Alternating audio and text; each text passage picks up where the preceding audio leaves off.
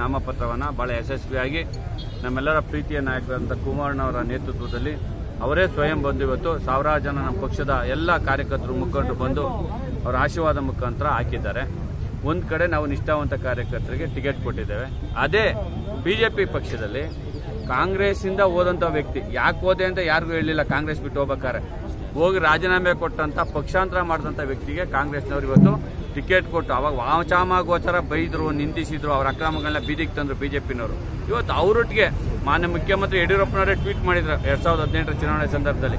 ಇದು ಇಪ್ಪತ್ತು ಸಾವಿರ ಓಟ್ ಏನು ಅಕ್ರಮ ನಡೆದಿದೆ ರಾಜರಾಜೇಶ್ವರಿನಗರ ವಿಧಾನಸಭಾ ಕ್ಷೇತ್ರದಲ್ಲಿ, ಆ ಅಕ್ರಮಕ್ಕೆ ಈ ಅಭ್ಯರ್ಥಿ ನೇರ ಹೊಣೆ ಅಂತ ಹೇಳಿದರು. ಅಂಥವ್ರನ್ನ ಇವತ್ತು ಜೊತೆಲಿ ಇಟ್ಕೊಂಡು ಬಂದು ಅಭ್ಯರ್ಥಿ ಮಾಡಿದ್ದಾರೆ ಒಂದು ಕಡೆ. ಮತ್ತೆ ಕಾಂಗ್ರೆಸ್ದವರು, ಅವರು ನಮ್ಮ ಹನುಮಂತರಾಯಪ್ಪನವ್ರು ನಮ್ಮ ಜೊತೆಲೇ ಇದ್ದವರು. ಯಾವ ಕಾರಣಕ್ಕೋಸ್ಕರ ನಮ್ಮ ಪಕ್ಷವನ್ನು ತ್ಯಜಿಸಿ ಇವತ್ತು ಕಾಂಗ್ರೆಸ್ಗೆ ಹೋದ್ರು ಅಂತ ಗೊತ್ತಿಲ್ಲ. ಅವ್ರ ಮಗಳನ್ನ ಅಭ್ಯರ್ಥಿ ಮಾಡಿದ್ದಾರೆ. ನಾವು ಯಾರ ಬಗ್ಗೆ ವೈಯಕ್ತಿಕವಾಗಿ, ಲಘುವಾಗಿ ಮಾತಾಡೋದಿಲ್ಲ. ಆದರೆ ಅವೆರಡನ್ನೂ ನೀವು ಪರಾಮರ್ಶಿಸಿ ಮಾಧ್ಯಮದವರು. ಯಾಕಂದ್ರೆ ನಾವು ಒಂದು ಕಡೆ ನಾವು ನಿಷ್ಠಾವಂತ ಒಬ್ಬ ಕಾರ್ಯಕರ್ತನಿಗೆ ಇವತ್ತು ಶಾಸಕ ಸ್ಥಾನದಂತ ಟಿಕೆಟ್ ಅನ್ನ ಕೊಟ್ಟಿದ್ದಾರೆ ಕುಮಾರಣ್ಣವರು ನಮ್ಮ ಒಂದು ಸಂದೇಶ ಕೊಟ್ಟಿದ್ದೀವಿ ಈ ರಾಜ್ಯದಲ್ಲಿ. ನಮ್ಮ ಪಕ್ಷ ಇರ್ತಕ್ಕಂಥದ್ದು ಕಾರ್ಯಕರ್ತರಿಗೋಸ್ಕರ. ಕಾರ್ಯಕರ್ತರನ್ನ ಇಟ್ಕೊಂಡು ನಾವು ಕೆಲಸ ಮಾಡ್ತೀವಿ. ಕಾರ್ಯಕರ್ತರಿಗೆ ನಾವು ಗೌರವ ಕೊಡ್ತೀವಿ ಅನ್ನೋ ಸಂದೇಶವನ್ನ ನಾವು ಕೊಟ್ಟಿದ್ದೇವೆ. ಅದೇ ಬಿಜೆಪಿನಲ್ಲಿ ಏನಾಯ್ತು ಅಂದ್ರೆ ಎಂಬತ್ತೈದು ಸಾವಿರ ತಗೊಂಡಿದ್ರು ಓಟು ತುಳಸಿ ಗೌಡ್ರು. ಪಾಪ ಅರಣ್ಯ ರೋಧನೆ ಮಾಡಿದ್ರು. ಸುಪ್ರೀಂ ಕೋರ್ಟ್ ವರೆಗೂ ಮೊಕದ್ದಮೆ ಹಾಕಿದ್ರು. ಇವತ್ತು ತುಳಸಿ ಮುನ್ರಾಜ್ ಗೌಡ್ರಿಗೆ ನ್ಯಾಯ ಕೊಟ್ರ ಬಿಜೆಪಿ ಪಕ್ಷದವರು. ಅಧಿಕಾರದಲ್ಲಿತ್ತು. ಇಲ್ಲೇನೋ ಬೇರೆ ವ್ಯತ್ಯಾಸ ಆಗ್ತಿರ್ಲಿಲ್ಲ. ತುಳಸಿ ಮುನ್ರಾಜ್ ಗೌಡ್ಗೆ ಟಿಕೆಟ್ ಕೊಡ್ಬೋದಾಗಿತ್ತು. ಒಬ್ಬ ನಿಷ್ಠಾವಂತನ ಉಳಿಸ್ಬೇಕು ಅಂತ ಇದ್ದಿದ್ರೆ ಕಾರ್ಯಕರ್ತರ ಪಕ್ಷ ಅಂತ ಹೇಳ್ತಾರೆ ಬಿಜೆಪಿನವರು. ಯಾಕೆ ತುಳಸಿ ಮುನ್ರಾಜ್ ಗೌಡ್ಗೆ ಅನ್ಯಾಯ ಮಾಡಿದ್ರು? ಇದು ಪ್ರಶ್ನೆ. ಇದೆಲ್ಲವನ್ನ ಜನರ ಮುಂದೆ ಇಟ್ಕೊಂಡು ಹೋಗ್ತೀವಿ. ರಾಜರಾಜೇಶ್ವರಿ ಕ್ಷೇತ್ರದಲ್ಲಿ ಇರ್ತಕ್ಕಂಥ ನಾಲ್ಕು ಮುಕ್ಕಾಲು ಲಕ್ಷ ಮತದಾರರು. ಯಾರೇನು ಕೊಂಡ್ಕೊಂಡು ಬಿಟ್ಕೊಂಡಿಲ್ಲ. ನಾವು ಪ್ರತಿಯೊಬ್ಬರ ಮನೆ ಬಾಗಿಲಿಗೆ ಹೋಗಿ ವಿಚಾರಗಳನ್ನ ಅವ್ರ ಮುಂದೆ ಇಡ್ತೇವೆ ಫಸ್ಟ್ನೇ ಫ್ಲೋರ್ ಇರಲಿ, ಎರಡನೇ ಮಾಡಿ ಇರಲಿ, ಮೂರನೇ ಮಾಡಿ ಇರಲಿ ನಮ್ಮ ಪಕ್ಷದ ಮುಖಂಡರು ಕಾಲ್ನಡಿಗೆನಲ್ಲಿ ನಮ್ಮ ಹತ್ರ ದುಡ್ಡಿಲ್ಲ, ಕಾಸಿಲ್ಲ. ನಾವು ಜನರ ಹತ್ರ ಕುಮಾರಣ್ಣ ಮಾಡಿರೋಂಥ ಕೊಡುಗೆಗಳು. ಇವತ್ತು ರೈತ ರೈತರಿಗೆ ಮಾಡಿದಂಥ ಸಾಲ ಮನ್ನಾ ಇರ್ಬೋದು ದೇವೇಗೌಡರು ಬೆಂಗಳೂರು ನಗರಕ್ಕೆ ಕೊಟ್ಟಂತ ಕೊಡುಗೆಗಳು ಇವೆಲ್ಲವನ್ನ ಮನವರಿಕೆ ಮಾಡಿಕೊಡ್ತೇವೆ. ಜನ ಖಂಡಿತ ರಾಜರಾಜೇಶ್ವರಿ ನಗರದಲ್ಲಿ ಈ ಬಾರಿ ಒಂದು ಒಳ್ಳೆ ಫಲಿತಾಂಶ ಬರ್ತದೆ. ರಾಜರಾಜೇಶ್ವರಿ ನಗರದ ತಾಯಿ ರಾಜರಾಜೇಶ್ವರಿ ಆಶೀರ್ವಾದ ನಮ್ಮ ಪಕ್ಷದ ಮೇಲಿದೆ ನಮ್ಮ ಅಭ್ಯರ್ಥಿ ಮೇಲಿದೆ. ನಾವು ಖಂಡಿತ ಜಯಶೀಲಾಗ್ತೇವೆ ಜನ ನೋಡಿ ನೀವೇ ನೋಡ್ತಾ ಇದ್ದೀರಿ. ಇವತ್ತು ನಾವು ನಿಂತು ಧೈರ್ಯವಾಗಿ ಎದೆ ತಟ್ಕೊಂಡು ಹೇಳ್ತಾ ಇದೀವಿ ನಾವು ಜೆಡಿಎಸ್ ಪಕ್ಷದವರು ಅಂತ. ನಮ್ಗೆ ಯಾವ್ದು ಅಳುಕಿಲ್ಲ ಅಂಜಿಲ್ಲ. ಆದ್ರೆ ಕಾಂಗ್ರೆಸ್ ಪಕ್ಷದವ್ರಿಗೆ ಅಥವಾ ಬಿಜೆಪಿ ಪಕ್ಷದವ್ರಿಗೆ ಆ ರೀತಿ ಎದೆ ತಟ್ಕೊಂಡು ಹೇಳಲಿಕ್ಕಾಗಲ್ಲ. ನೂರಾರು ಪ್ರಶ್ನೆಗಳು ಅವ್ರ ಕಡೆ ತೋರ್ತಾ ಇದೆ. ಇವತ್ತು ನಮ್ಮ ಜನ ನಮ್ಮನ್ನು ಆಶೀರ್ವಾದ ಮಾಡ್ತಾರೆ. ಕುಮಾರಣ್ಣರಂತ ಒಬ್ಬ ಮುಖ್ಯಮಂತ್ರಿ ಈ ನಾಡಿಗೆ ಅವಶ್ಯಕತೆ ಇದೆ. ಈ ಬಾರಿ ಮುಂದಿನ ದಿನಗಳಲ್ಲಿ ಹಿಂದೆ ಆಗಿದ್ದೆಲ್ಲ ಆಗಿದೆ. ಜನ ಕೂಡ ಅರ್ಥ ಮಾಡ್ಕೊಂಡಿದ್ದೆ ಕೊರೋನಾ ಟೈಮಲ್ಲಿ ಮಾಸ್ಕ್ ಅಲ್ಲಿ ದುಡ್ಡು ಹೊಡಿದ್ರು ಸ್ಯಾನಿಟೈಸರ್ ಅಲ್ಲಿ ದುಡ್ಡು ಹೊಡಿದ್ರು, ಒಂದು ಪಿ ಪಿ ಕಿಟ್ ಅಲ್ಲಿ ದುಡ್ಡು ಹೊಡಿದ್ರು. ವೆಂಟಿಲೇಟರ್ ಅಲ್ಲಿ ದುಡ್ಡು ಹೊಡಿದ್ರು. ಇದೆಲ್ಲವೂ ಕೂಡ ಜನರಿಗೆ ಗೊತ್ತಿದೆ. ಜನ ನಾಳ್ತಾ ಇದ್ದಾರೆ ಈ ಕೊರೋನಾ ಸಂದರ್ಭದಲ್ಲಿ. ಇವೆಲ್ಲವನ್ನು ಇಟ್ಕೊಂಡು ನಾವು ಜನರ ಮುಂದೆ ಹೋಗೋಕೆ ನಮಗೆ ಬಹಳ ವಿಷಯ ಇದೆ. ದೇವೇಗೌಡರು ಸಾಹೇಬರು ಬರ್ತಾರೆ ಕುಮಾರಣ್ಣವ್ರು ಬರ್ತಾರೆ ಎಲ್ಲ ಪಕ್ಷದ ಮುಖಂಡರು ಬರ್ತಾರೆ. ನಾವಂತೂ ಇನ್ನು ಚುನಾವಣೆ ಚುನಾವಣೆ ಮುಗಿಯೋವರೆಗೂ ನಿದ್ದೆ ಮಾಡ್ತೀವಿ ಹಗಲು ರಾತ್ರಿ ಇಲ್ಲಿ ಕೆಲಸ ಮಾಡ್ತೀವಿ. ಖಂಡಿತ ನಮಗೆ ಜಯ ಸಿಗ್ತದೆ ಅಂತ ಆಶೀರ್ವಾದ ಇದೆ.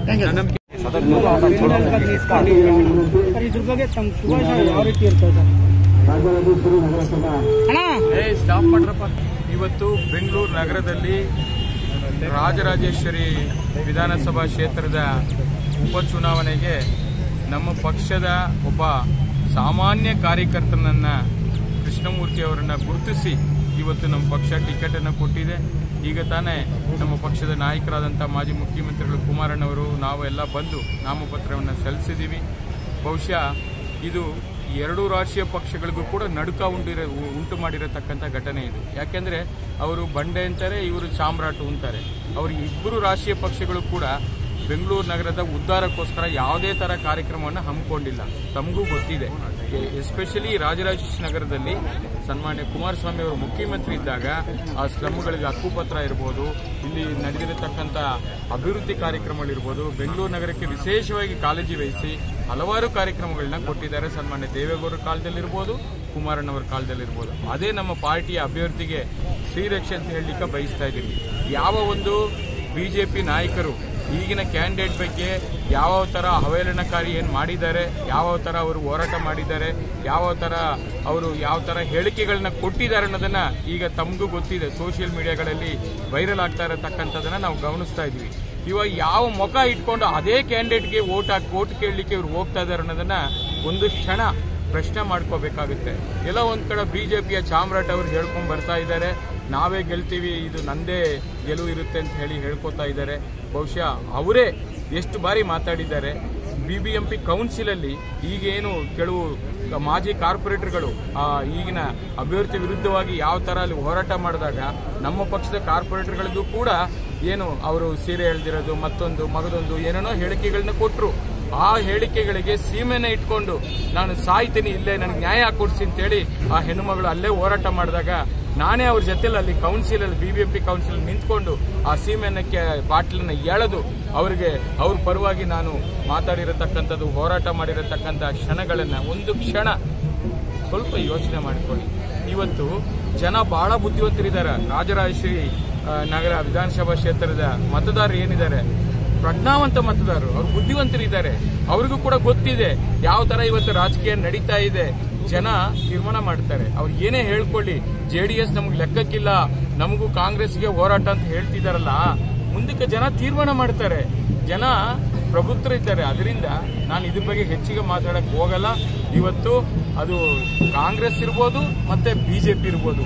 ಈ ಎರಡೂ ಕೂಡ ಒಂದು ನಾಣ್ಯದ ಎರಡು ಮುಖಗಳಂತೆ ವರ್ತಿಸ್ತಾ ಇರತಕ್ಕಂಥದ್ದು ಈ ಬಾರಿ ಒಂದು ಬದಲಾವಣೆಯನ್ನ ರಾಜರಾಜೇಶ್ವರಿ ನಗರದ ಮತದಾರರು ಕೊಟ್ಟೇ ಕೊಡ್ತಾರೆ.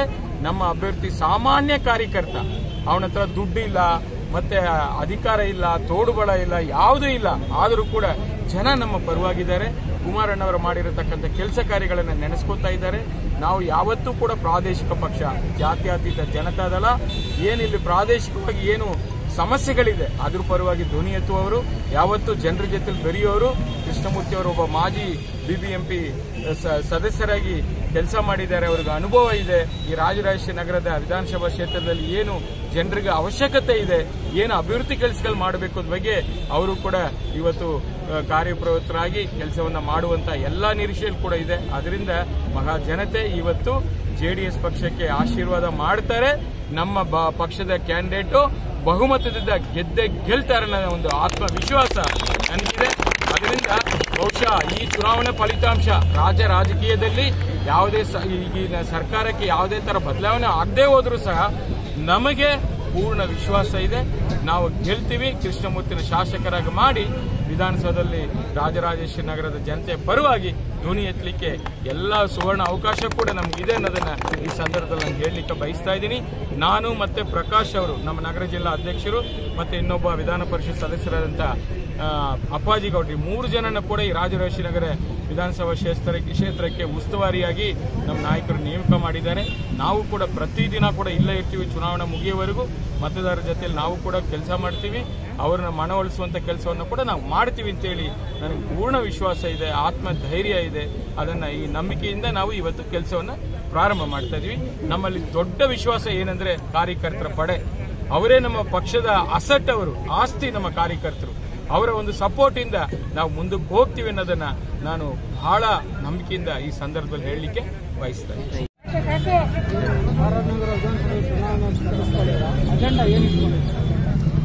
ಇಟ್ಕೊಂಡಿದ್ದಾರೆ ಇವತ್ತು ಬೆಂಗಳೂರು ಅಭಿವೃದ್ಧಿ ಬಗ್ಗೆ ಹೆಚ್ಚಿನ ಕಾಳಜಿ ವಹಿಸಿದ್ದು ಕುಮಾರಣ್ಣ ದೇವೇಗೌಡ ಅಪ್ಪಾಜಿಯವರೇ ಬೆಂಗಳೂರು ಇವತ್ತೆಲ್ಲ ಅಭಿವೃದ್ಧಿಯಾಗಿದೆ ಅಂದರೆ ಅಂದ್ರೆ ಅದು ಬೆಂಗಳೂರು ಕುಮಾರಣ್ಣ ಅಂದರೆ ಕಾರಣ.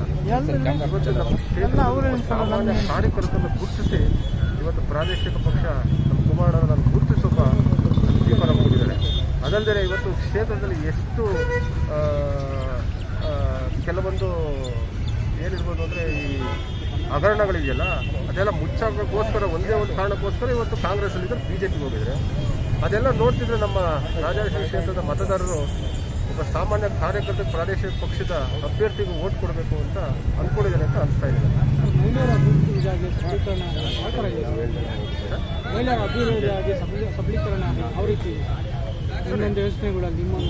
ನಮ್ಮ ದೇಶ ತುಂಬ ಇದೆ ಕ್ಷೇತ್ರ ತಪ್ಪು ಗೊತ್ತಿರ್ಬೋದು ಕೋವಿಡ್ ನೈನ್ಟೀನ್ ಬಂದಾಗ ಎಷ್ಟು ಬಡವರು ಎಷ್ಟು ರಸ್ತೆ ರಸ್ತೆಲೆಲ್ಲ ಸಾವುಗಳಪ್ಪಿದ್ರು ಅವತ್ತು ಯಾವುದೇ ಕಾರಣಕ್ಕೂ ಯಾವುದೇ ಸರ್ಕಾರ ಇಲ್ಲದ್ರಿಂದ. ಅದೇ ನಮ್ಮ ಸಿಎಂ ಎಂ ಇದ್ದಿದ್ದ ಆ ಟೈಮಲ್ಲಿ ಸಿಎಂ ಆಗಿದ್ರೆ ಖಂಡಿತವಾಗಲು ಕಡು ಬಡವರು ಬೀದಿಗೆ ಬರ್ತಿಲ್ಲ ಅಂತ ಹೇಳಕ್ಕೆ ಇಷ್ಟಪಡ್ತೀನಿ.